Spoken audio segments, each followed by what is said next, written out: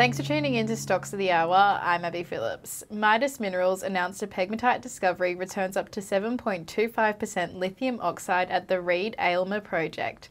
The company will immediately apply for a drilling permit on the tenements over the Argus pegmatite. Shares are trading 13.04% higher at 13 cents.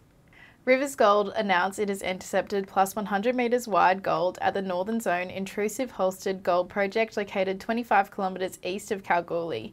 In response, David Lenigas, chairman of RGL, said, With the Australian dollar gold price now pushing through $3,100 an ounce, the commerciality of these types of large scale, lower grade gold deposit becomes significantly more viable. Shares are trading 7.69% higher at 1.4 cents.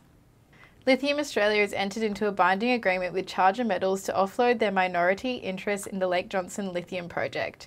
The largely unexplored Lake Johnson Greenstone Belt now hosts multiple spodumene discoveries and with the recent focus and increasing exploration activity could evolve into a prominent lithium province.